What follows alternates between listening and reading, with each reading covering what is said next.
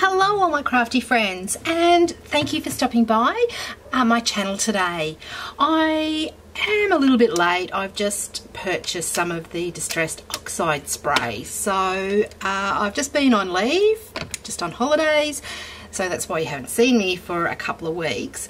But what I want to do today is I just want to play. I know there's heaps of YouTube uh, videos out there about distress oxide sprays and that but I really did want to do a comparison um, color to color so how I actually picked my colors is I picked my favorite colors that I use all the time so I've got spiced marmalade abandoned coral wilted violet mermaid lagoon and of course peacock feathers so I've got some watercolor cardstock today and I thought I might turn these into some cards. But what I want to do first is do the backgrounds. So I've got a mini mister here uh, for fine mist and I've also got a water bottle here that sprays out bigger drops.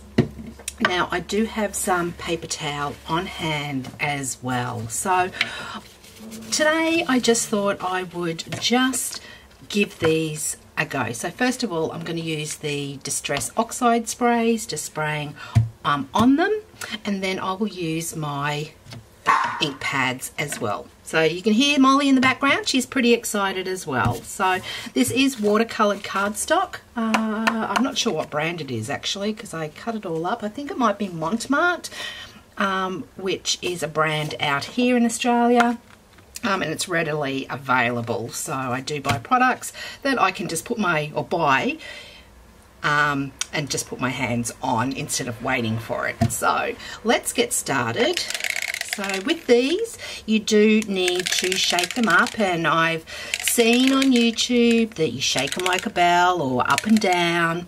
Um, I don't know if there is a particular um, way, but I think as long as you get that mica um, off the bottom, so you can see that it settles on the bottom of the bottle.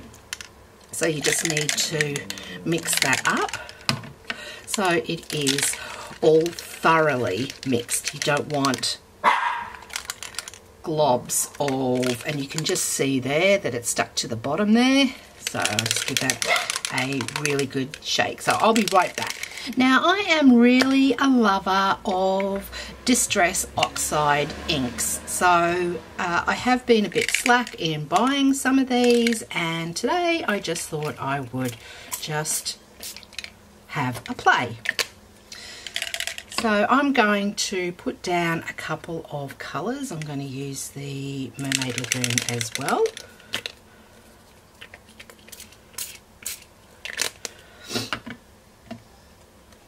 Now I'm just going to dry this off because I'm going to use some of this around here as well.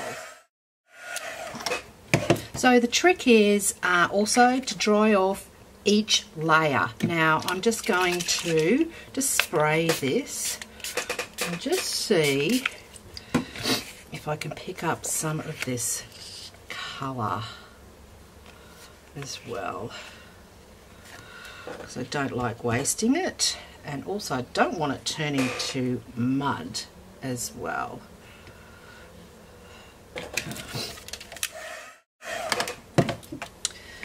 So it is going a bit green. I'm going to just put down some more straight on here. And I'll just spray a little bit of water on. Okay.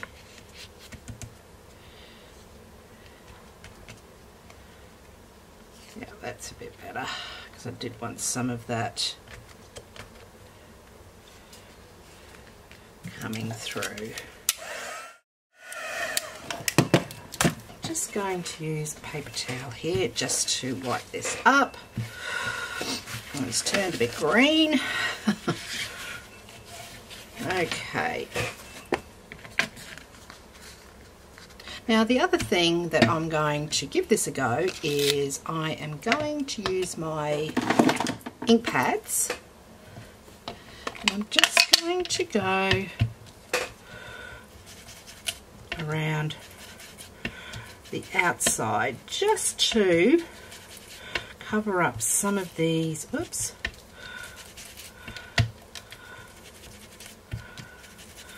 areas here. So I'm going to probably use these combined with my ink pads as well. So just covering all that up. Okay. So I'm just going to splatter this with water just to reactivate the oxide. And you can start to see straight away the beautiful oxide coming through. Just like that. So I'm just going to dry that. Right, so that's really, really lovely. Love that. Okay, so we'll just wipe that off again. Okay, so I'm going to now, I'm just going to wet this in a tick, but what I'm going to do is I'm just going to put some of this down. And I'm going to use the blue again. Just smooch that down. I just wanted to do a comparison so I'll just spray that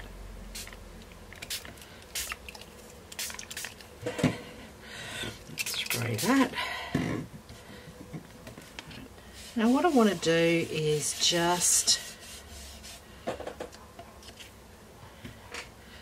pick up some of this colour. One thing I do notice is that the oxide soaks into this paper so it doesn't sit on top of the paper um, sort of thing. So it just soaks in. Um, and the more water I put on the wetter my paper is getting here. So I was a little bit disappointed um, with this using the watercolor cardstock. Um, so I might just um, try and do something a little bit different. Just dry that off. This time I'm just going to use some oops I ran out of um, round ones so I had square ones so I'm going to give that a go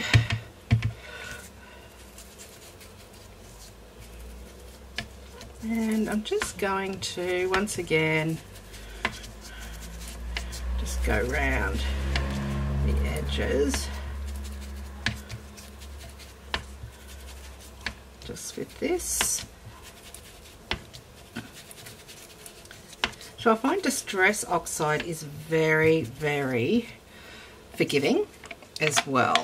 So once again, I'm just going to give it just a light mist this time.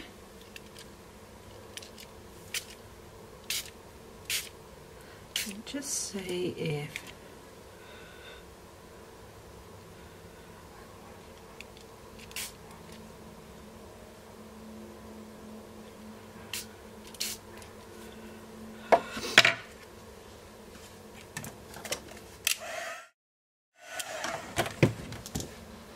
Now I wasn't happy with the mist. I'm just going to go in again with some and it's just all about I'm just playing. That's it.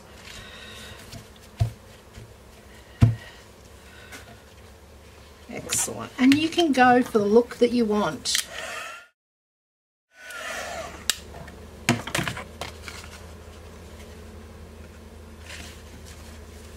So they're the two colours that I did use. Now as you can see, using the Spiced Marmalade and the Mermaid Lagoon has given me some green as well, which is really, really um, nice. So you can use these as backgrounds or you can die cut them.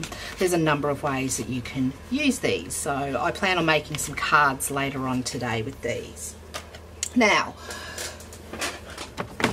I'm just going to get some clear gesso and because I'm not sure if this watercolour here, this cardstock that I've got is any good. I'm just going to paint some of these with clear gesso. So, and I'm just going to do, I might do a couple of cards actually. I might do it on the smoother side rather than the other side. Oops.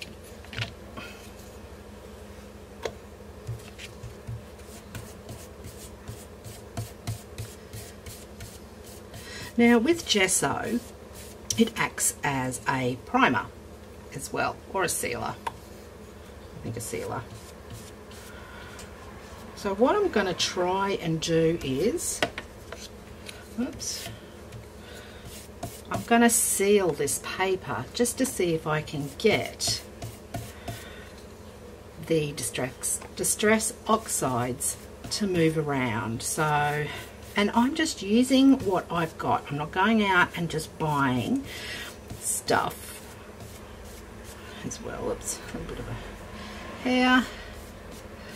Okay, so I'm just going to dry this off and I'll be right back.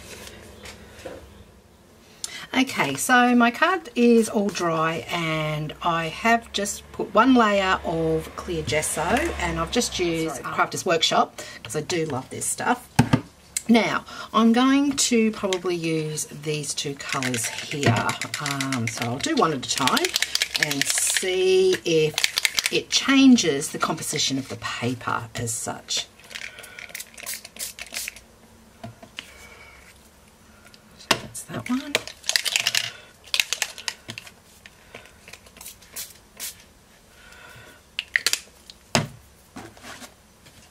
So I'm just going to dry that.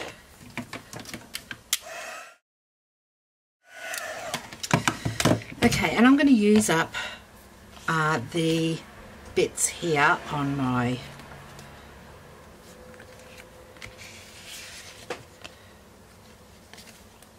mat.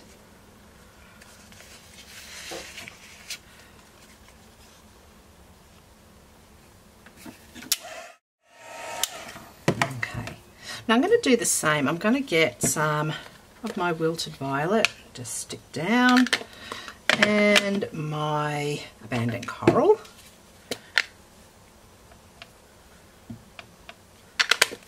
Okay, I'm just gonna spritz that until it beads up.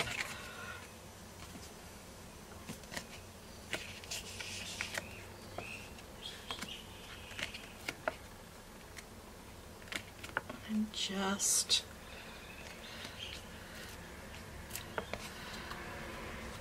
see where that takes me. So I'll just dry that off. Okay, and you want to dry off each layer, okay? So I'll just get some more here.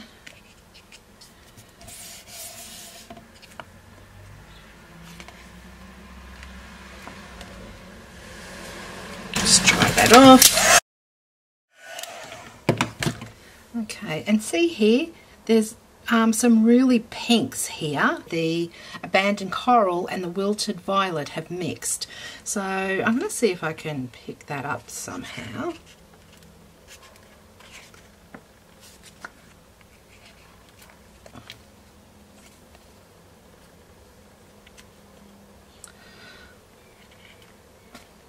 Okay, just dry that off.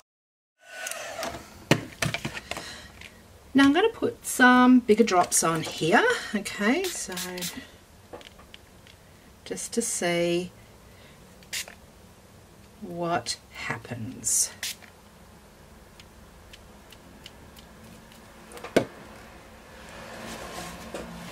Okay, so now I'm going to dry it without taking it off. And there you have it. So really, really nice. I love that effect. So really good. Okay, so I've got a, another card here. I'll just clean that up first. So this time, and I did have a bit of purple on here overspray. So what I might use is the abandoned coral and the peacock feathers. So once again, this has been clear gessoed as well. So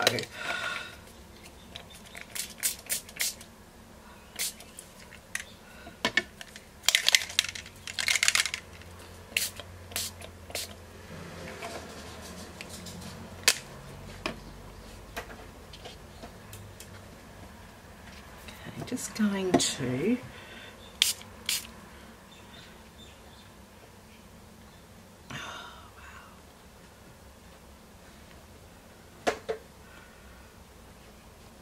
Okay, so I'll just spray, uh, just dry that. Now, just while I've got that, I'm just going to get some plain stock, um, card, watercolour cardstock. Just going to pop that down, and I'm going to do exactly the same and put down as much spray. And I find that it absorbs it.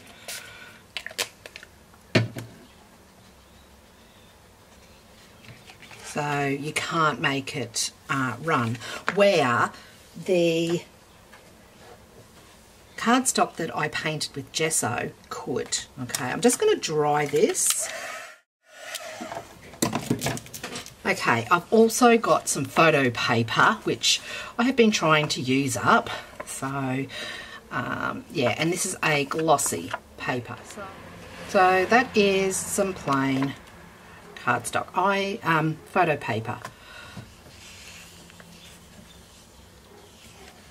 So this photo paper isn't absorbing the colour anywhere near the water cardstock. So I'm pretty pleased with it actually.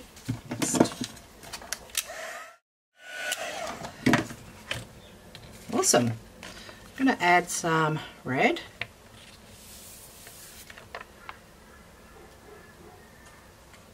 Of red up the top here and up there.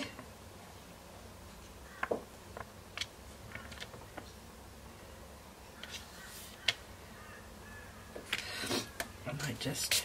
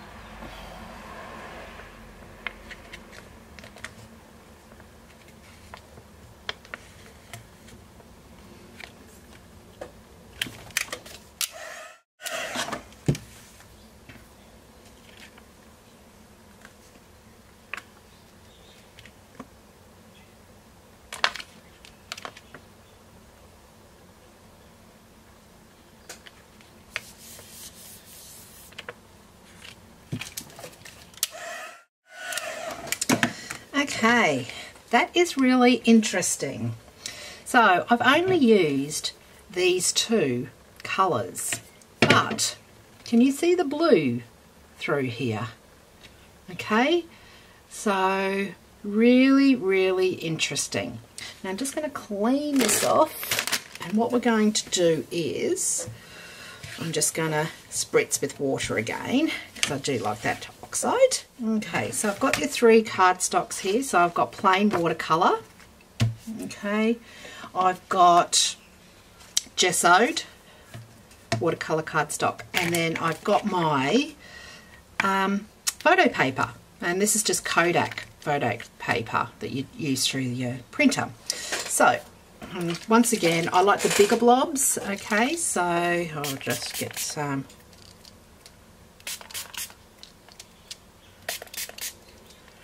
and just see. Now you can see this one here automatically dries quickly because it's absorbing the paper. This one has got gesso on it, the clear gesso, and this is my photocopy paper. So, right, I'll just wipe that one off. There you go. And I'll do the same with the photocopy paper as well. And really hasn't oxided, but let's dry them off.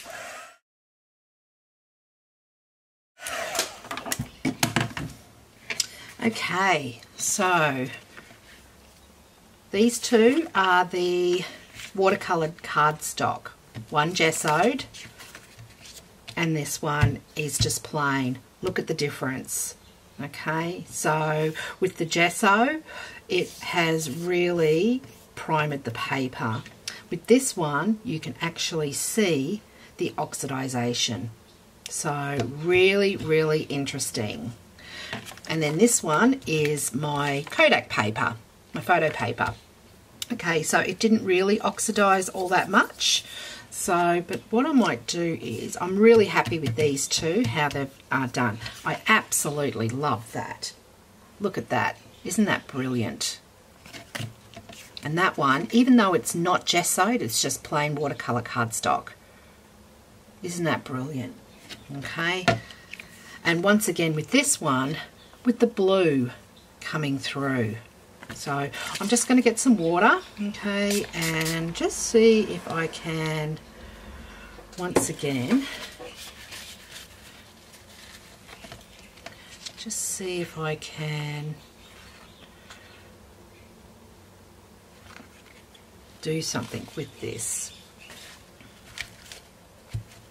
Okay, so that's where it's wet. I'll just dry that off.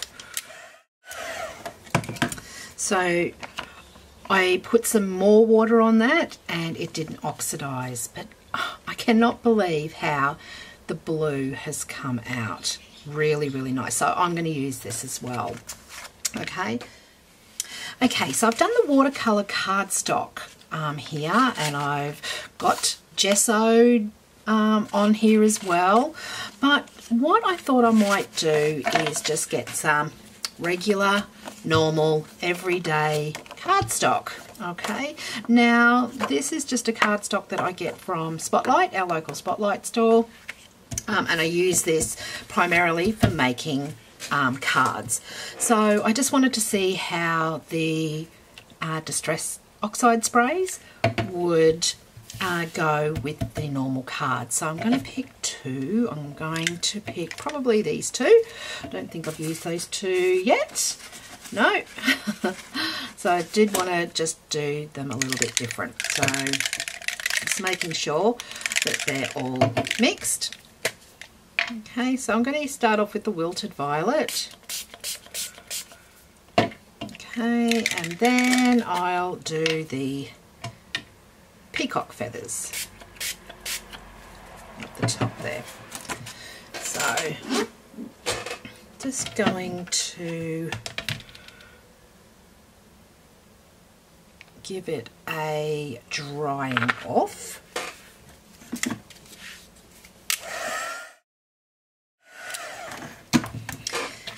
Now it doesn't soak into the paper like it did with the watercolour paper okay so it did stay on the top a bit more okay?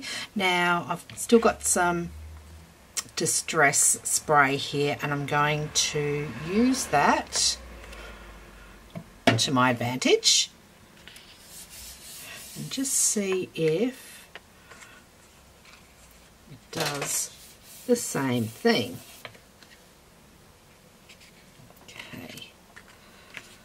And don't forget, you do want to dry in between each of the layers. Okay, so I'm just going to put that aside for the time being. I'm just going to get another piece of cardstock. Okay, I'm just going to spray just a little bit just to see if I can mix this around.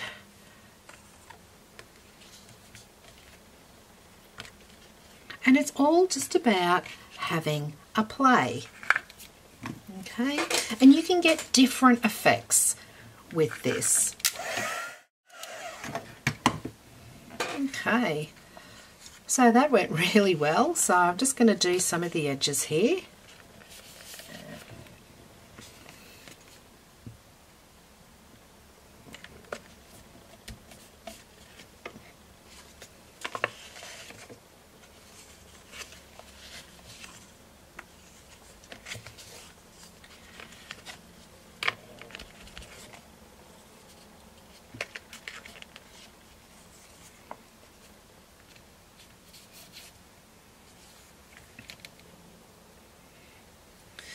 Give that a dry. Okay, I'll just clean this up. Okay, so one I directly sprayed on, this one, and this one here I picked up the excess of my glass mat. Now I'm just going to use my water technique here and try and see if the oxide comes out, which it should. I'll do both.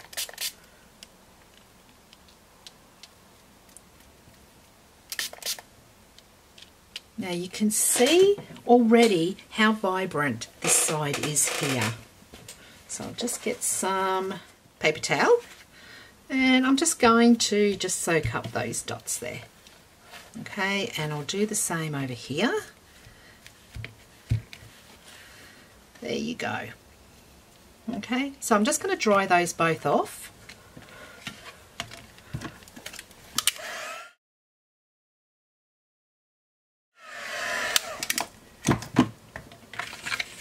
And there you have it. So you have, this is just normal cardstock. Okay, so it does oxidize really nicely as well. What's my favourite? Well, I think they are all my favourite. I think they all do a little bit different things with the different types of paper. Okay, so we've got our gessoed watercolour cardstock, which turned out well, and the gesso stripes have come out of that as well, so really, really pretty. And then you've got um, it really oxidizes really nicely. Then you've got the, this is the Kodak photo paper. So, and I like how the blues has come out of these and I only used peacock feathers and abandoned coral for that one. These three here are the, just the normal watercolour cardstock and they oxidized really well as well. And of course these two here is just the normal paper for card making. So I hope you've enjoyed that. Um, it's given me some ideas as well what to make or create and the differences that they actually come out with. Now don't forget, if you have finished playing, always remember to clean the nozzles on these as well. Okay, so just by rubbing a wet baby wipe just on the top there okay? And then you're ready to play for next time. So I hope you've enjoyed this video. If you have please give me the thumbs up. If you haven't done so already please consider subscribing to my channel. And if you do don't forget to hit that notification bell down below. Look out for my next video where I will be creating some cards with these backgrounds here. And until next time happy crafting. See ya